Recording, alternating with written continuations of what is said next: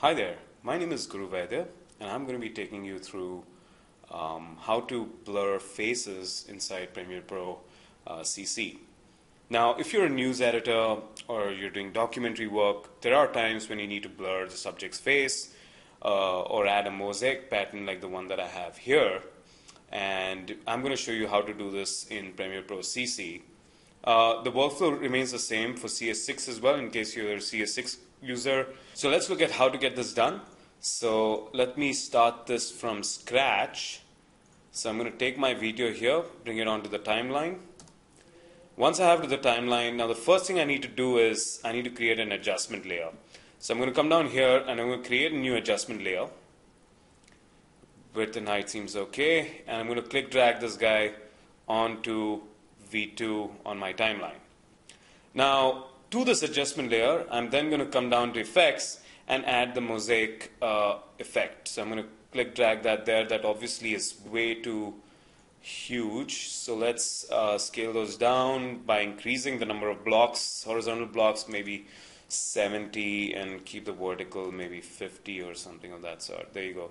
Um, so now the problem is we've got this effect applied to the entire image uh, or the entire sequence, and what I'd like to do is confine it to just his face. Now, the way that you do that is you would need to create a mask.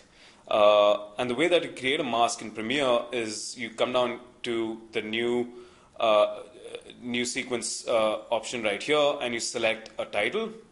I'm going to call this mask for face. Say OK to that, and that opens up the titler. Now, in the titler, you've got a bunch of these tools here which can be used for creating a mask. So let's say I, I select that uh, circle there, and uh, maybe I'll just roughly scale it up to the size of his face. And once I have something that looks okay, I'm going to close the, the titler. So, and then what I'm going to do is I'm going to select that title that we just created, and I'm going to click drag it onto the video 3 layer on my uh, video, video 3 track on my timeline.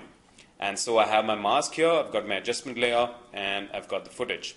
Now, the final thing that needs to be done here is you need to come down to effects and you need to look for something called the track matte key. Uh, so click drag the track matte key onto the adjustment layer.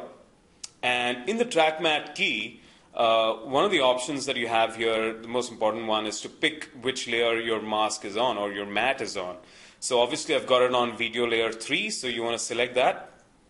And now what you'll notice is, uh, you'll notice that the mask is confined to just his face, and uh, I'm sorry, the effect is confined to just his face, and that's, that's how you go about doing this. So I've added a Gaussian blur here to the matte here, so that uh, we have uh, a soft edge to the matte, but this is how you go about doing it. Uh, if you if you're if you if you want to replace the mosaic with uh, a simple blur, you could do that as well. Just click drag the Gaussian blur onto the uh, onto the adjustment layer, and you can turn off the mosaic and say, okay, I just want to blur this by a certain value, and you can take that up and blur his face uh, that way as well. So you've got both the options that you could go with. So I hope this was useful. Thanks for watching.